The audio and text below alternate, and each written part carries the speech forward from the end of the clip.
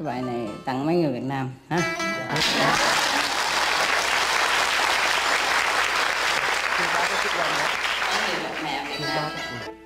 bài này tựa là người mẹ lưu vong